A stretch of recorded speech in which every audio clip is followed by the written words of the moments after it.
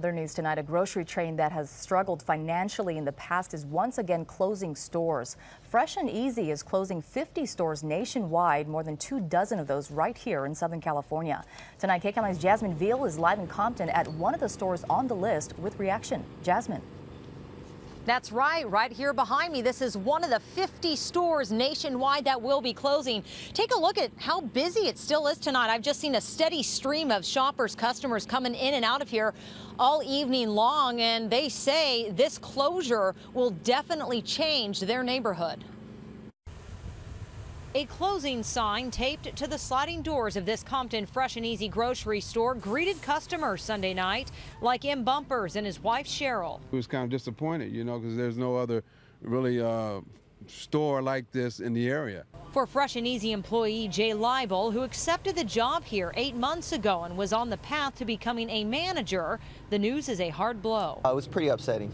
Like I said, I left my other job to be with the company. Leibel says he and about 20 other co-workers here, as well as hundreds working at the 30 locations set to close in the Southland, with at least eight of those in the Inland Empire alone, will get a severance package or be transferred.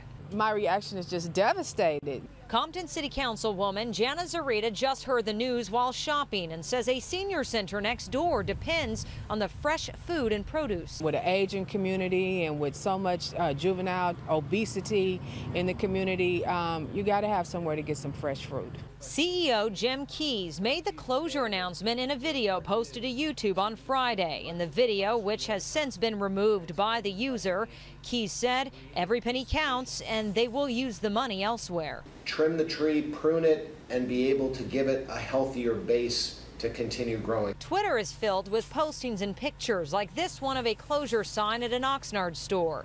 The grocery store chain has gone through bankruptcy in the past, temporarily closed some stores in 2010 because of the economy, and finally sold in 2013 to another company, passing on its losses.